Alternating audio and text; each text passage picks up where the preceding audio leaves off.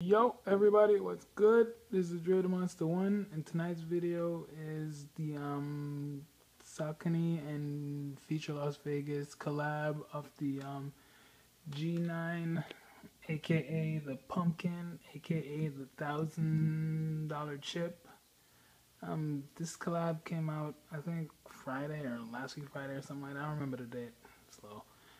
I just got it mailed to me yesterday. I picked it up and I'm just about to show you the shoe. Labeled the pumpkin for obvious reasons.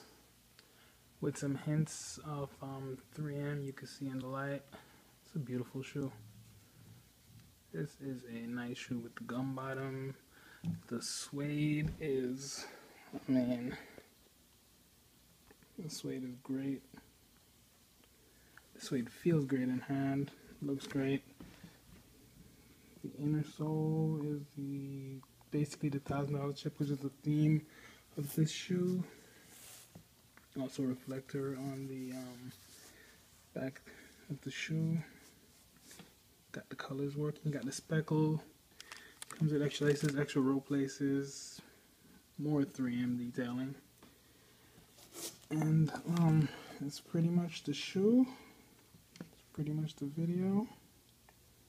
Mine should have been here earlier, but the postal people kind of messed up the order. Go figure. Good job, post office.